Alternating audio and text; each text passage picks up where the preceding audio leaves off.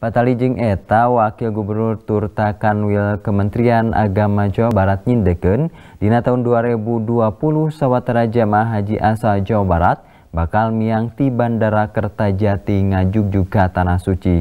Pihak Kemenag kiwari keur ngusulkeun pangwangunan asrama haji di Indramayu anu ditargetkeun bisa dipakai dina tahun 2020. Nalika diwawancara satu tas kegiatan Jabar punya informasi atau Japri di Gedung Sate Kota Bandung poe Kemis pas sore, Wakil Gubernur Jawa Barat UU Ruzanul Ulum nyendekeun jamaah haji asal Jawa Barat bakal miang ti Bandara Kertajati ngajugjug ka Tanah Suci kalawan hahambalan tim mimiti tahun 2020 jaga jamaah haji asal 20 kabupaten jeung kota di Sakule Jawa Barat turta genep kabupaten tur kota di Jawa Tengah bakal miang ti bandara anu pernah di Majalengka.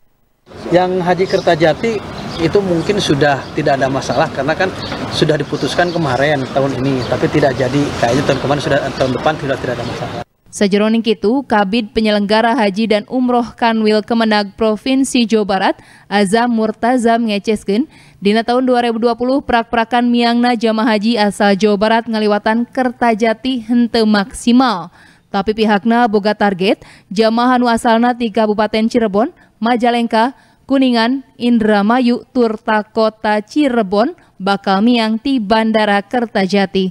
Pangnak itu dina tahun 2020, aula, perkantoran, jeng gudang bakal ngajang gelek ancokenen asrama haji di Indramayu.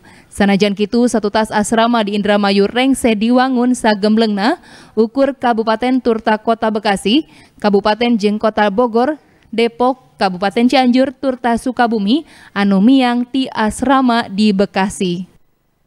Kami sudah menganalisis untuk memberangkatkan jemaah haji dari Kertajati.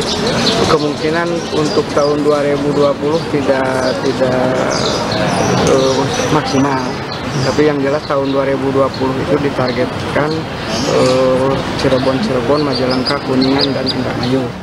Rarancangna saban poena opat kloter bakal miang ti Kertajati kalawan jumlah jamaah per kloterna 410 orang.